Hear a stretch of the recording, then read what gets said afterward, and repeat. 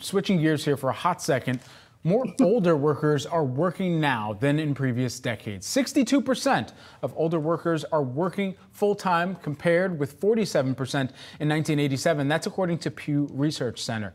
Kerry, I hate using the word old, so we'll just say more seasoned, more intelligent, uh, largely, folks out there still in the workforce. Why should employers consider hiring older workers, as they classify? Well, yeah, yeah. I mean, come on, get with it. I mean, what planet are they on?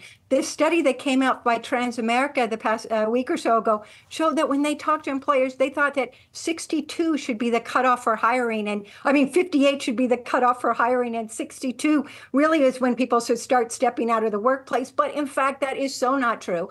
And that more of us are working longer uh, for many reasons for financial stability, just because we simply love being on the job, the mental engagement, all of the great things that come with working. But more importantly for employers is demographic changes mean you have to look at this demographic because there's not as many younger workers coming up and as the population shifts to an aging global workforce, um, they need to start making accommodations to figure out how do we attract these people with um, and retain them that have the experience. We don't; they can do the job right now. We don't have to onboard them, train them in any massive way.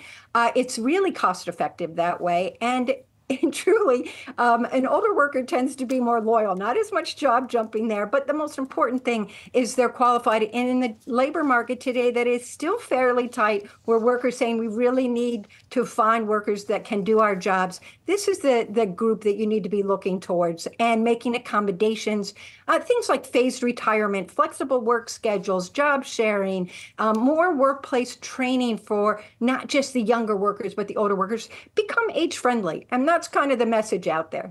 Yeah, maturity, uh, interpersonal skills as well, and historical context, all good things uh, for some of the kind of upper end of the workforce to be able to kind of pitch to some of those potential employers out there as well. Kerry, thanks so much. We appreciate it. Thanks, Brad.